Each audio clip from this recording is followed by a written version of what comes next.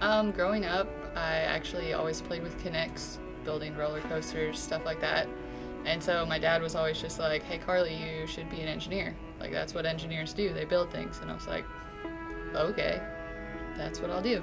Um, when I was in high school, I actually interned at my mom's company, um, and I job shadowed some of the engineers there. Um, and so that started when I was about 16. And so I worked with them for a few summers, and I enjoyed what I did and, and liked it. So I decided to pursue that through college. But why I chose engineering, just didn't know what it was, and then I just kind of got uh, absorbed into it and enjoyed what I did. I had a fascination with how things worked and how to make them work better. And just wanted to make things work better.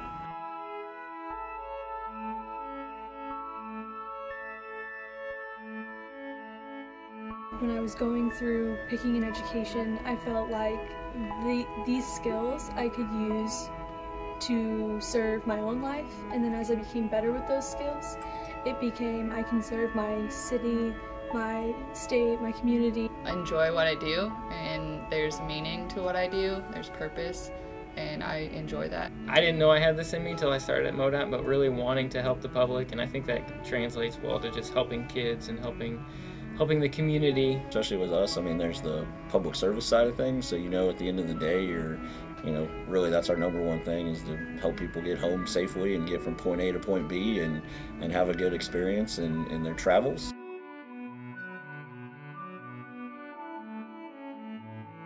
I would say make sure that you get internships and you can try new things and see where you want to be.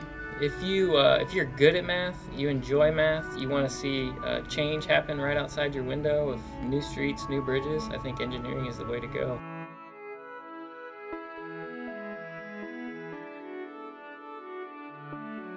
You know, math is people don't like it, and so if if you could spread the joy and the cheer that math can bring someone, uh, you're doing good. Did you just say the the joy and cheer of math? Yeah. No. Yeah. Say and spell your name. Matt, M A T T, Daulton, D A U L T O N.